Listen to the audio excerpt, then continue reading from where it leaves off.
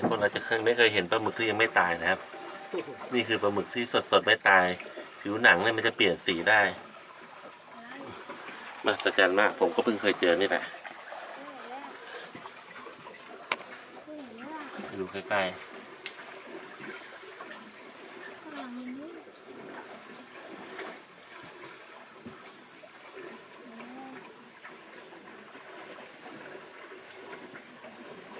cũng lặn mấy cái miệng anh này